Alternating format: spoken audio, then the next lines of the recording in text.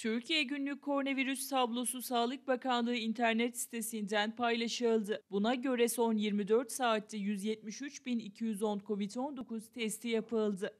7279 kişinin COVID-19 testi pozitif çıktı. 129 kişi hayatını kaybetti. Hasta sayısı 670 olarak açıklandı. Son 24 saatte 8902 kişinin COVID-19 tedavisi ya da karantinasının sona ermesiyle iyileşen sayısı 2 milyon 340 bin 216'ya yükseldi. Test sayısı 29 milyon 181 bin 125'e ulaştı. Vaka sayısı 2 milyon 457 bin 118, vefat sayısı 25 bin 605, ağır hasta sayısı 1751 oldu. Ülkemizde ilk koronavirüs aşısı 14 Ocak'ta sağlık çalışanlarına uygulanarak başlanmıştı. Bugüne kadar 1 milyon 716 bin 708 kişiye Çin'den getirilen koronavirüs aşısı uygulandı.